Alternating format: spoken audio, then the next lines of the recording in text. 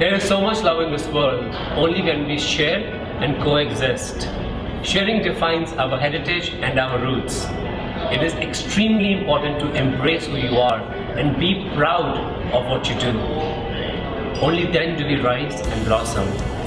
I'm Vikas Khanna and I endorse Gurbaksh Chahal's Be Proud movement. Let's join the movement and end hate.